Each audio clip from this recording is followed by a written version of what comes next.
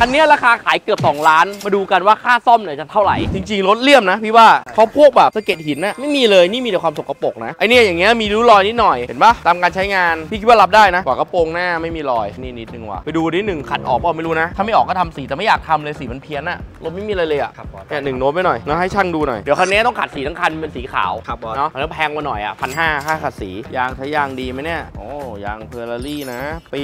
23 โอเค ดอกเป็นไงหนาๆลึกๆอะโอเคได้ยางผ่านเนี่ยแต่ซอกมือเปิดเนี่ยเน้นช่างเลยดูแต่ว่าลูกค้าใช้นะ มันก็มีรอยแล้วเห็นว่าหนึ่งจะเห็นว่าเวลาเราเอามือสอดสอดๆอะรอยเล็บในกุญแจเป็นข่วนๆเห็นปะครับบอสพวกเนี้ยแต่ขัดออกหมดพวกเนี้ยแต่เน้นตามซอกหน่อย สีโอเคนะ สมบูรณ์ไปดูท้ายดินี่เห็นไหมเนี่ยเคลียร์มันลอกเนี่ยหนึ่งเนี่ยชิ้นเนี้ยทำสองพันบอกว่าทำสี skirt โอ้ภายในเลี่ยมว่ะตอนนี้ซ่อมมาเท่าไหร่วะหนึ่ง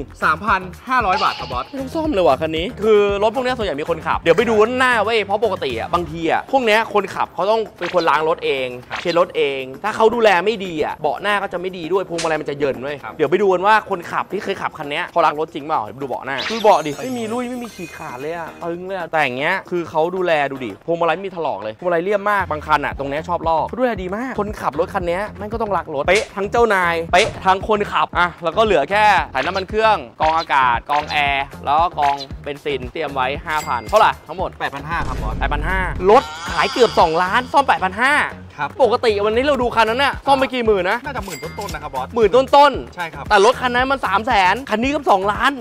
เห็นปะรถดูแลดีอะใครที่อยากได้รถเป๊ะขนาดนี้นะครับ เจ้าของทั้งรักคนขับเก่าเขาก็รักแบบนี้ ใครตามมหาไวไฟนะครับตัวติดต่อผมได้นะครับ ที่เจมส์ออกเลนออโต้